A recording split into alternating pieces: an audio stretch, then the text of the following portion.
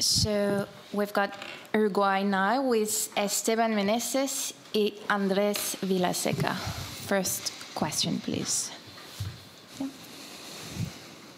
Bueno, para los dos, felicitaciones por el triunfo. Eh, y bueno, ¿qué, ¿cuánto pesaba la mochila que, se había cargado el rey uruguayo, pero no por ponérsela por gusto, sino porque era una responsabilidad para, para Uruguay afrontar este partido y, ganarlo? Eh, nosotros vinimos al Mundial, nos preparamos para, para, hacer historia, para ganar dos partidos, para ganar a Italia y ganarle a Namibia. El primer objetivo perdimos, pero en ningún momento este plantel bajó los brazos y, y confió en su trabajo, confió en, el, en, lo que venía haciendo. Sabíamos que, que en lo mental iba a ser difícil, porque hacía siete días que habíamos perdido contra Italia, pero confiando en, en, las bases de nuestro juego, que hoy se dio por el lado del line, del mall y del scrum, eh, empezamos a, soltarnos y a, jugar y a hacer el juego que, a nosotros, que nosotros nos, nos, trajo donde nos trajo y nos trajo para ser protagonistas de la manera que queremos ser. Eh, desde el, desde lo mental creo que fue un partido que lo fuimos trabajando, sabíamos que iba a ser así, que Namibia era su, su objetivo, tenía Uruguay entre cejas y sabíamos que se iba a venir y que iba a tirar todo, pero encontramos el camino para, para este, poder hacer la diferencia. Sí, Quique, un poco lo mismo que el mono. Eh, en las semanas, eh, obviamente hablamos mucho de, que llegábamos a un partido una Copa del Mundo siendo favoritos, que nunca nos había pasado, este, por lo menos a este grupo. Y, con todo lo que eso conlleva, ¿no? que, muchas veces el, uruguayo quizás cuando va cuando no va de favorito le queda mejor, pero hoy la verdad que quisimos quisimos marcar una diferencia y, mostrar el equipo que somos. Obviamente no fue, no fue el arranque de partido que queríamos, eh, eso está claro, pero también habíamos hablado en la semana de eso que dice el mono, de que Namibia era el último partido de ellos de la Copa del Mundo, que no, nosotros éramos el objetivo y vinieron a buscar lo suyo. Este, lo que más destaco es que nunca perdimos la calma, realmente nunca la perdimos, ni en el entretiempo. Este, íbamos 20-12, si mal no recuerdo. Eh, nada, sabíamos que estábamos en esa situación por errores nuestros. Este, entonces, con esa tranquilidad y con esa calma, sobre todo de los líderes, el equipo salió al segundo tiempo, mostró otra cara.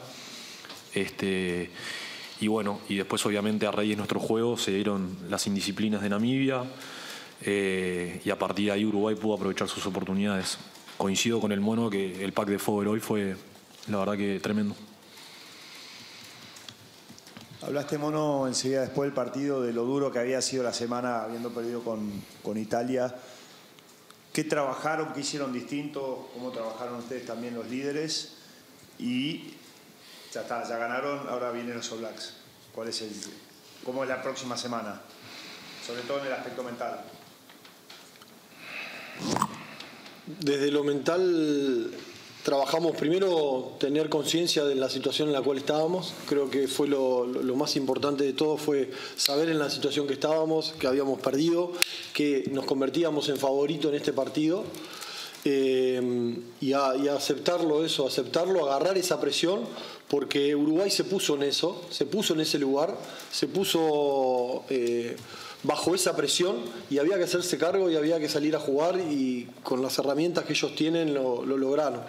Eh, fue el lado de, de los forward que se destraba el partido, pero, pero creo que, pasa por ahí el, el, encontrar, el saber dónde estábamos parados, en la situación que estábamos parados, en identificar eso y a partir de ahí trabajar con, con la situación que, que, teníamos encima, que era haber perdido y tener el otro objetivo que era ganar la Namibia. y donde éramos realmente favoritos. Entonces, eh, creo que el equipo se adueñó de eso, se hizo cargo, costó 40 minutos, estábamos abajo en el tanteador, pero en los, segundos, el segundo tiempo salió con el protagonismo que, queríamos. El, ah, el, sí, o sea, primero festejar, porque otra, otra, otra cosa que habíamos hablado en la semana o que yo por lo menos le traté de, o sea, de transmitir al grupo era que Uruguay solo había conseguido tres victorias en mundiales y, hoy teníamos la posibilidad de ir por la cuarta. Eh, o sea, realmente era un partido muy importante para nosotros. Eh, entonces, rápidamente salir de lo que fue Italia, que nos dolió obviamente, pero, pero nada, creo que Namibia era nuestro, nuestro 50% del gran objetivo que teníamos y, y eso habla por sí solo y el grupo lo entendió perfectamente. Y ahora, obviamente, nos queda, creo que, el cierre de, mundial que todo el mundo quiere. Este, no sé, no sé si se va a volver a repetir un Uruguay All Blacks en una Copa del Mundo, entonces tenemos una gran oportunidad de cerrar nuestra Copa del Mundo de la mejor, de la mejor manera, a mi entender, contra el mejor equipo del mundo. Eh, y nada, llevar la alegría y la victoria de hoy, llevarla a toda la semana que nos queda, que es la última semana que nos queda juntos. Eh, no sabemos si vamos a volver a estar en una Copa del Mundo, viste, esto es así y nada, creo que es el cierre perfecto y mentalmente el partido que nos queda eh, nos mete solo en el partido, así que nada, creo que es para disfrutar la victoria y la semana esta que nos queda como grupo, este, jugadores y staff, tenemos que realmente disfrutarla y prepararla de la mejor manera. A los dos le, le quería preguntar ¿Qué pasó en ese arranque donde obviamente hay un try de intercepción que cambia todo, pero, pero por lo menos desde afuera se vio que les, costaba encontrar respuestas, ¿no? Eh, abrieron la pelota tres veces, ellos le ponen muchísima presión cada vez que salen, generan errores de manejo y, el equipo pareció sentir el golpe, ¿no? Lo decía vos, Mono, después a partir de las formaciones fijas, el juego un poco más agrupado, empiezan a sacar ventaja, pero ¿cómo vieron ese arranque donde ellos se ponen 14-0, pero más allá del score, parecía que le faltaban respuestas al equipo? Em, creo que la ansiedad de, querer eh, ganar el partido en la primera acción, en la primera secuencia, y que no nos termina saliendo y nos terminan eh, haciendo ellos un try, eh, creo que esa fue la ansiedad que, tuvo el equipo, pero a su vez pudimos salir de eso y, encontrar el, el, control de nuevo en el partido. creo que que nada, era, era lógico que, esto pasara, que, el, equipo salga, eh, era un lanzamiento que habíamos entrenado toda la semana como primer lanzamiento nuestro y eh, nada, termina la pelota en el piso y trae de ellos, eh, así que nada, pudimos salir de esa situación, que creo que es lo, más importante de todo. Ver la forma en la cual salimos, el equipo lo encontró rápido y pudo, pudo salir de esa situación y enseguida empezar a trabajar el partido. Ya íbamos 14 a 0 y no encontrábamos el, camino, pero lo fuimos, lo fuimos trabajando para que eso se, vaya dando. Así que creo que, eso es meritorio del de los líderes del juego, del capitán y de su capitán, de, no perder la calma, de tener siempre el control y, ver por dónde se iba a abrir el partido. Sí, la verdad que eh, te soy sincero, eh, nunca se perdió la calma dentro de la cancha, quizás de afuera obviamente se sintió algo diferente, pero como dice el mono, a ver, el primer lanzamiento que hacemos nosotros lo habíamos entrenado toda la semana y nada, por una descoordinación, por un mal pase que va al piso, arrancamos 7-0 abajo. Eh, obviamente no era lo que no era, no era lo que pretendíamos, pero ni, o sea, ni siquiera en el 14-0 me pasó de ver un equipo que se, que se venga abajo, ni mucho menos. Este, al revés, creo que hoy, la verdad que me voy muy contento con el, con el carácter del equipo. Eh, quizás en otro momento Uruguay sí se hubiese caído de cabeza, eh, pero hoy realmente no fue el caso y, cada vez que miraba a mi alrededor veía caras realmente convencidas de que esto iba a ser largo, eh, que había que trabajarlo hasta el minuto 80 y, nada, ya te digo, muy contento con el carácter y con, y con, y con el hambre de ganar que tuvo este equipo hoy. Este, ganar como sea, obviamente, ¿no? Había que, había que traerlo como, como fuera. Eh, nos hubiese gustado de una forma diferente, obvio, pero al final nos llevamos el triunfo y eso es lo que importa. Quisiera eh, un, balance de estos tres partidos en el proceso de ustedes de, crecer, eh, porque yo vi los tres partidos contra Francia, que jugaron a la, a la, a la pari en, el primer tiempo, contra Italia, idem, y, hoy tuvieron alguna dificultad que después resolvieron. Un balance de qué es lo que más sacaste de cada partido para, para seguir creciendo. Lo que más saqué es, cómo se está trabajando en Uruguay, lo, bien que se está trabajando en Uruguay y creo que eh, Uruguay está hablando. Eh, nos pusimos el objetivo de hacer historia ganando dos partidos, no se nos pudo dar contra Italia, pero creo que, Uruguay en este mundial viene haciendo historia, realmente viene haciendo historia, creo que con el tiempo nos vamos a dar cuenta de eso, de los dos partidos que jugamos de igual a igual contra un Tier 1, estaba Francia e Italia, y fue como decían ellos mismos, decían un seis naciones en siete días. Eh, y de jugar de igual a igual. Entonces creo que eso es lo que habla del, crecimiento que está teniendo Uruguay en el juego, de, pedir más competencia pero dentro de la cancha y eso fue lo que, lo que más contento me deja. Creo que la preparación que, viene teniendo Uruguay desde el 2015, 2019, viene evolucionando y, creo que, estos tres partidos se, manifestó. No, no, no tengo ninguna duda de eso y eh, faltó muy poco, faltaron 40 minutos en el segundo tiempo de contra Italia. Eh, hoy tuvimos herramientas para dar un, vuelta a un resultado en el segundo tiempo eh, que venía fea. así que nada, ahora nos queda tremendo desafío contra, contra los All Blacks en seguir, en seguir jugando de esta manera, en seguir siendo protagonistas, en seguir haciendo historia. Last question. Merci. Uh, Andrés, el capitán de la Namibia ha dicho que lo que necesitan ellos es um, una franquicia como tienen los uh, equipos en Sudamérica. ¿Puedes decir a qué punto que se desarrolló después del, uh, del último mundial?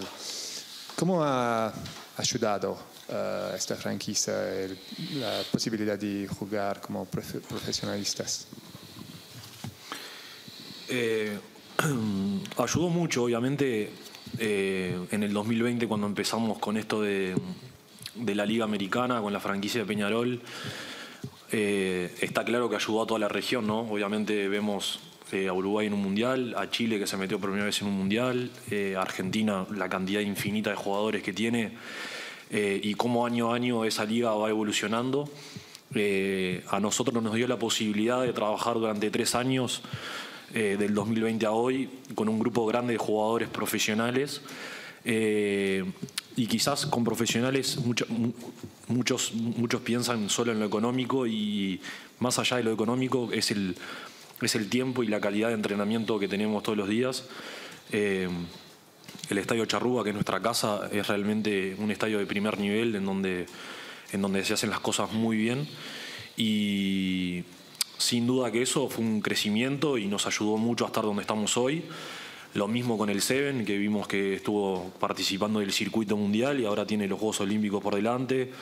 Todas esas pequeñas cosas suman a que hoy Uruguay haya contado con 46 jugadores profesionales preparando una Copa del Mundo, que yo que estoy hace tiempo es la primera vez que pasa.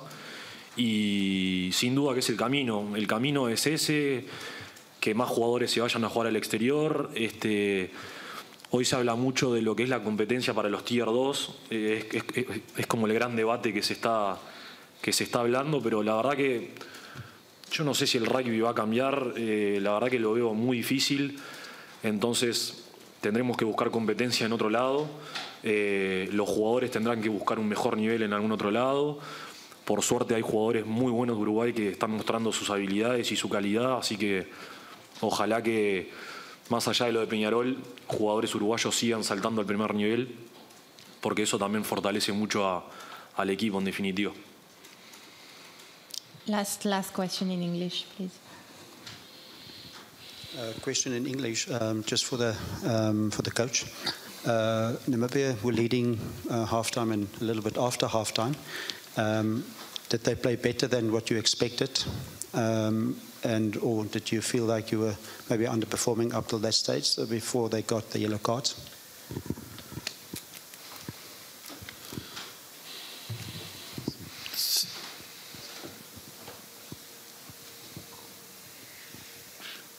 Sin duda que, sabíamos que, Namibia era su último partido, era su, posibilidad de, ganar un partido, ellos se lo habían planteado como un objetivo y, sabíamos que iba a ser realmente duro.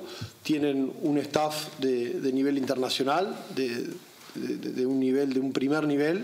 Entonces, eh, es un equipo que nos ha estudiado mucho, que sabía cómo eh, hacernos daño con su defensa y, lo termina logrando en el primer tiempo.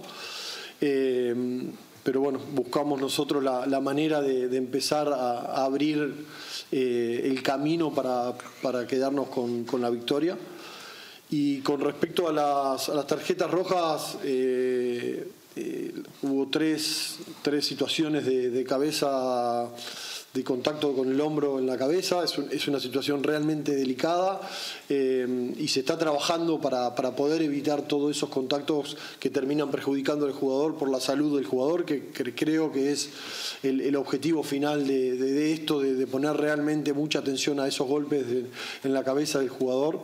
Y creo que, que nada, que está bien lo que se está haciendo, creo que revisar esas acciones eh, hace que nosotros, entrenadores, ellos jugadores, eh, focalicémonos en, no dañar al jugador con un, con un tackle, porque físicamente cada vez se está creciendo, se está evolucionando muchísimo y el nivel de contacto, si no lo regulamos como se está haciendo, en buscar el camino para, para no lastimarlos eh, con golpes en la cabeza, creo que es la, es la forma correcta. Así que eh, está bien que revisen esas situaciones, eh, tenemos que adecuarnos y trabajar para que no pase más de esas, esas cosas.